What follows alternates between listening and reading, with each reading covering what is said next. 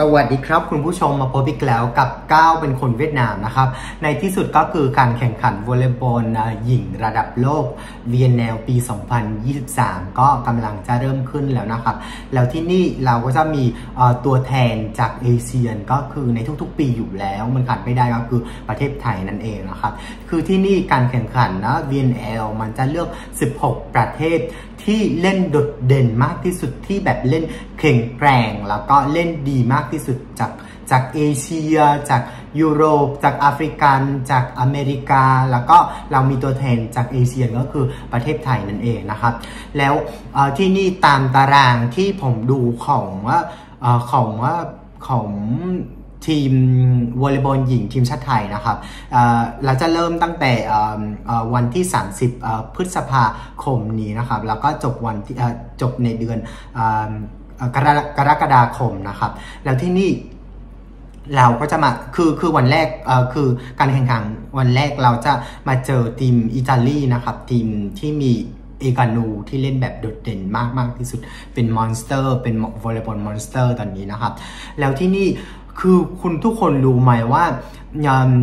คนเวียดนามแบบกระตือรือร้อนแบบตื่นเต้นตื่นตาตื่นใจมาก เมื่อได้เห็น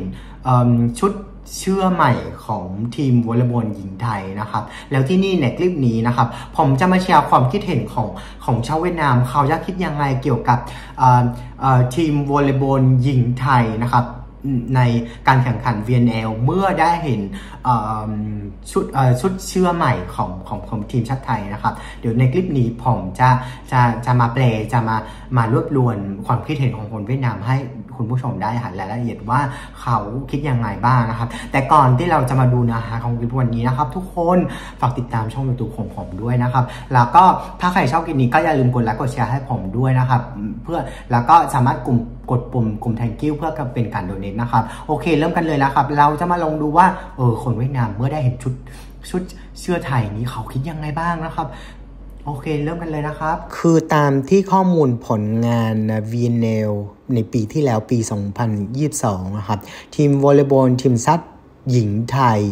ได้อันดับ 8 จากทั้งหมด 16 ทีมที่เข้าร่วมงานนะครับแล้วก็ผ่าน 12 แมตช์แล้วได้เราชนะ 5 แมตช์แล้วก็แพ้7แมตช์ทั้งหมดก็คือได้ 15 คะแนนนะครับ คือผมไม่รู้ว่าปีนี้นะครับทีมวอลเลย์บอลทีมชาติหญิงไทยจะตั้งเป้าหมายติดอยู่อันดับเท่าไหร่นะครับ คือไม่รู้คุณผู้ชมรู้หรือเปล่านะครับ ถ้ารู้ก็ช่วยคอมเมนต์ให้ผมในคลิปด้านล่างด้วยนะครับ แล้วสำหรับคนคนคิดว่าทีมชาติไหนที่น่าจะสามารถชนะได้หรือว่าได้แชมป์ในปีนี้นะครับ ก็ช่วยคอมเมนต์ให้ผมในคลิปด้านล่างด้วยนะครับแล้วเราก็ลองมาดู teaser เปิดตัวชุดเสื้อใหม่ของทีมวอลเลย์บอลหญิงไทยในในปีนี้นะครับ แบบดูดูแบบ professional มากอะดูแบบรู้สึกว่างานใหญ่มากเนาะอืม ทัดดาว รู้สึกว่าปีนี้จะมีคนใหม่ มี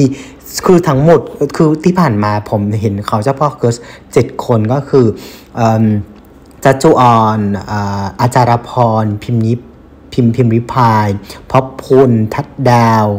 แล้วก็หัตยาแต่ปีนี้รู้สึกว่ามีเขาเรียกว่าอย่างทันทันทันชนา คนเบอร์สองนี่ผมจำซื้อไม่ได้อะ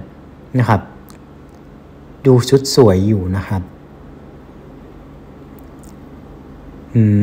คือเท่าที่ข้อมูลผมเห็นใน Grand Sport Shop ออนไลน์นะครับชื่อชุดเชื่อปีนี้มันจะมี2แบบก็คือหนึ่งก็คือเชื่อสามรูแล้วก็เชื่อเชิ้ตปกตินะครับ แล้วที่นี่มันจะเน้น3สีนะครับ สีแดง สีขาวแล้วก็สีผานะครับ ผมไม่รู้ว่าเขาจะใช้เชื่อสามรูกับเสื้อเชิ้ต ธรรมดาตอนไหนบ้างนะครับ เห็นแบบน่าจะใช้เสื้อรูมากกว่านะครับ เสื้อสามรู ดูจากรูปแล้วก็คลิปนี่ปีนี้เราเห็นว่าอินเนอร์เขามาดีมากนะครับ คนแต่งหน้าก็ก็ก็แต่งได้ดีแล้วก็โชว์เดอะโชว์ก้านใหญ่ดูเขามีแบบความมั่นใจดูน่ากลัวจริง ๆนะครับ แล้วก็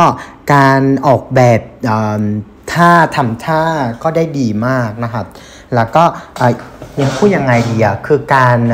เอาเอลเมนต์เพื่อตกแต่งเพื่อแต่งรูปหรือว่าใส่ฟอนต์หรือว่าใช้ Photoshop Effect ได้ดีนะครับ อันนี้ก็คือขอชื่นชม Graphic Designer แล้วก็ทางทางที่ที่ที่นักนักวอลเลย์บอลหญิงไทยนะครับ คือโพสโปสเตอร์ครั้งนี้ดูเขาแบบดูดู professional มากดูอินเตอร์มากนะครับต่อมานะครับเราจะมาลองดูความคิดเห็นของชาวเวียดนามนะครับ เขาคิดยังไงบ้างทำไมเขาแบบตื่นเต้นกระตือรือร้นมาก เมื่อได้เห็นภาพนักวอลเลย์บอลหญิงไทยใช้ ชุดเชื่อใหม่นะครับ โอเค คนแรกคนที่ชื่อว่าโง่เวนทีเขาก็บอกว่าเบอร์ 18 นี่เล่นได้ดีมาก เบอร์ 18 ก็คืออาชาราพรนั่นเองนะครับ คนที่ชื่อว่าเวียนเฮียวเขาก็คอมเมนต์เล่น ๆ ว่าโหย Photoshop เยอะเกินไปแล้วนะเธอ แล้วคนต่อมาก็บอกว่าทัดดาวดูนักสู้มาก ๆ นะครับ คือไม่รู้ว่าคุณผู้ชมคิดยังไงเกี่ยวกับคอมเมนต์ของเขาจะมีแบบความคิดเห็นที่เหมือนกันหรือเปล่าช่วยคอมเมนต์ช่วยคอมเมนต์มาเลยนะครับแล้วคนที่ชื่อว่าเริ่มเซินตุงก็บอกมาว่า ปกติจะมี 7 คน แต่ปีนี้ก็มีแบบคนที่ชื่อว่าธนจามาเล่นมามามาเป็นมาถ่ายรูปแบบนี้ด้วยนะครับ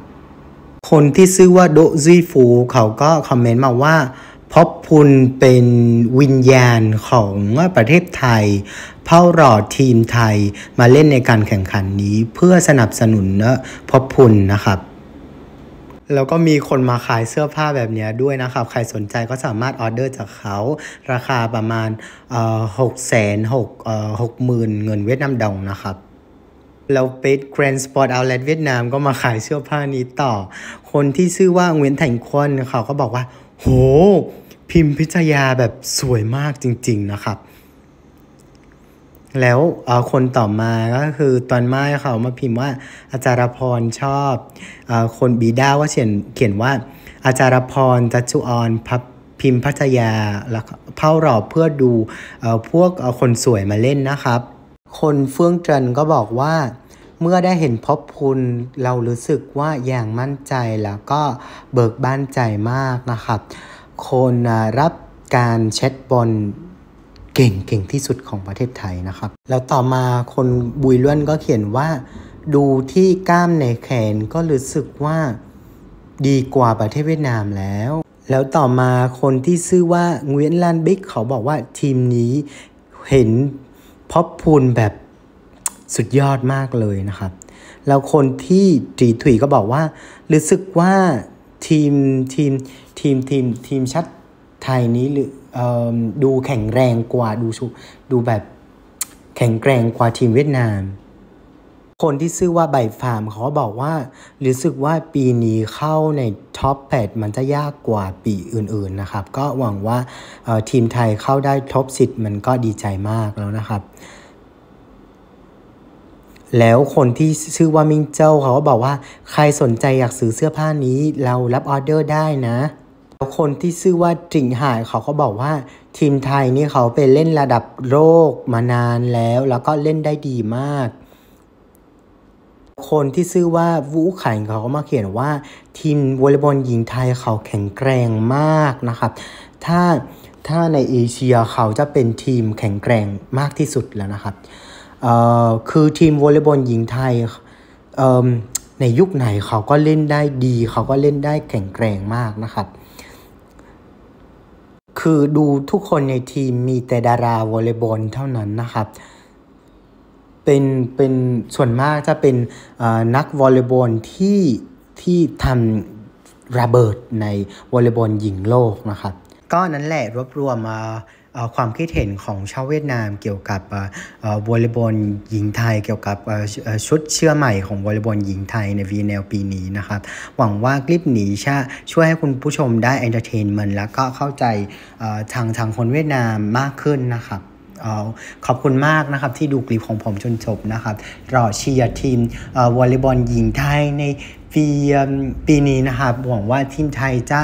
จะจะจะสามารถชนะแล้วก็เข้าได้ลึกมากนะครับ ขอบคุณมากนะครับคุณผู้ชม